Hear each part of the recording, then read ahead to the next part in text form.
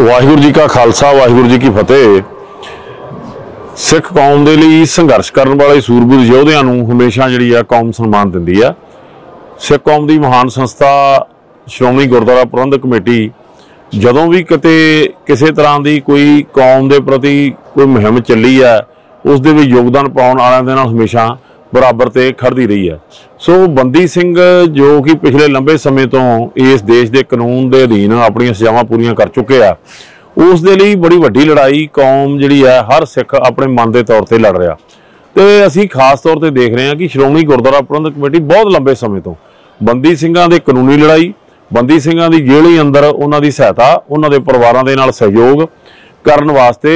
Shiromani committee ਦਾ ਵੱਡੇ, ਵੱਡਾ budget ਜਿਹੜਾ ਵਾ, ਇਸ ਗੱਲ ਲਈ ਵੱਖਰੇ ਤੌਰ ਤੇ ਰੱਖਿਆ ਜਾਂਦਾ। ਤੋਂ ਅੱਜ ਦੇ ਸਮੇਂ ਦੇ ਅੰਦਰ ਬੰਦੀ ਸਿੰਘਾਂ ਦੀ ਰਿਹਾਈ ਜਿਹੜੀ ਹੈ, ਸਿੱਖ ਕੌਮ ਦਾ ਬੜਾ ਜਿਵੇਂ ਕਹਿੰਦੇ ਗੰਭੀਰ ਮੁੱਦਾ ਬਣ ਗਿਆ ਤੇ ਰੂਹ ਦੇ ਨਾਲ ਜੁੜਿਆ ਮੁੱਦਾ। ਤੋਂ ਇਸ ਗੱਲ ਲਈ ਸ਼੍ਰੋਮਣੀ ਗੁਰਦੁਆਰਾ ਪ੍ਰਬੰਧਕ ਕਮੇਟੀ ਵੱਲੋਂ ਪਿਛਲੇ ਲੰਬੇ ਸਮੇਂ ਤੋਂ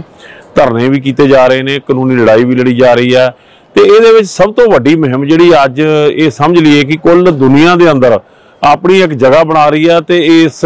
ਸਮਰਥਨ ਨੂੰ ਇਕੱਤਰ ਕਰ ਰਹੀ ਹੈ ਉਹ ਹੈਗੀ ਦਸਖਤੀ ਮੁਹਿੰਮ, ਜਿਹੜੀ ਕਿ ਮੌਜੂਦਾ ਪ੍ਰਧਾਨ ਐਡਵੋਕੇਟ ਹਰਜਿੰਦਰ ਸਿੰਘ ਧਾਮੀ ਵੱਲੋਂ ਦਿੱਤੇ ਪ੍ਰੋਗਰਾਮ ਦੇ ਤਹਿਤ,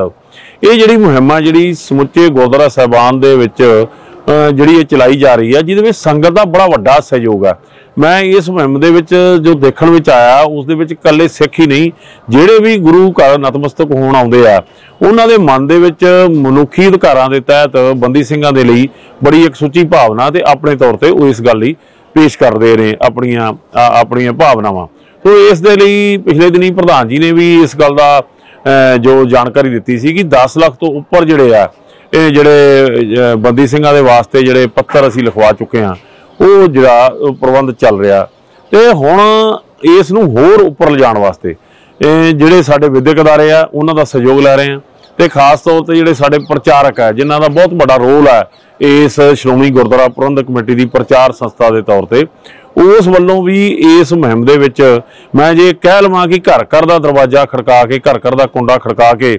ਬੰਦੀ ਸਿੰਘਾਂ ਦੀ ਇਸ ਆਵਾਜ਼ ਦੇ ਵਿੱਚ ਸ਼ਮੂਲੀਅਤ ਕਰਨ ਲਈ ਜਿਹੜਾ ਯੋਗਦਾਨ ਪਾਉਣ ਦਾ ਪ੍ਰੋਗਰਾਮ ਲਿਖਿਆ ਗਿਆ ਤੇ ਚੱਲ ਵੀ ਰਿਹਾ। ਇਸ ਗੱਲ ਨੂੰ ਪੂਰਾ ਸਿਖਰ ਤੇ ਲੈ ਕੇ ਜਾਇਆ ਜਾਵੇਗਾ ਤਾਂ ਕਿ ਆਉਣ ਵਾਲੇ ਦਿਨਾਂ ਦੇ ਅੰਦਰ ਰਾਸ਼ਟਰਪਤੀ ਦੇ ਨਾਂ ਤੇ ਗਵਰਨਰ ਦੇ ਦੁਆਰਾ ਜਿਹੜਾ ਇਹ ਆਪਣੀ ਮੰਗ ਆ ਜਿਹੜੀ, ਉਸ ਨੂੰ ਉਠਾਉਣ ਦਾ ਜਿਹੜਾ ਪ੍ਰੋਗਰਾਮ ਹੈ ਸੋ ਸਾਡੇ ਹਰ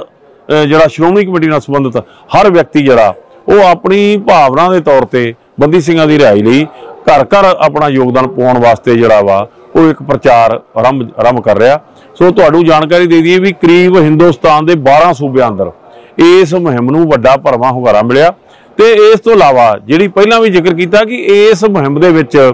ਦੁਨੀਆ ਭਰ ਤੋਂ ਜਿਹੜੇ ਸਿੱਖ ਆ ਤੇ ਮਨੁੱਖੀ ਅਧਿਕਾਰਾਂ ਨਾਲ ਸੰਬੰਧ ਲੋਕ ਆ ਇਹਦੇ ਵਿੱਚ ਸ਼ਾਮਲ ਹੋ ਰਹੇ ਨੇ। ਤੋਂ ਬਹੁਤ ਵੱਡੀ ਗਿਣਤੀ ਵਿੱਚ ਜਿਹੜੇ ਅਹ, ਕਿ ਨਾ ਬਾਹਰ ਤੋਂ ਵਿਦੇਸ਼ਾਂ ਤੋਂ ਜਿਹੜਾ ਸਾਡੇ ਨਾਲ ਸਮਰਥਨ ਪੱਤਰ ਜਿਹੜੇ ਪ੍ਰਾਪਤ ਹੋ ਰਹੇ ਨੇ। ਤੋਂ ਇਹ ਵੀ ਇੱਕ ਆਪਣੇ ਆਪ ਦੇ ਵਿੱਚ ਬੜੀ ਵੱਡੀ ਗੱਲ ਹੈ। ਸੋ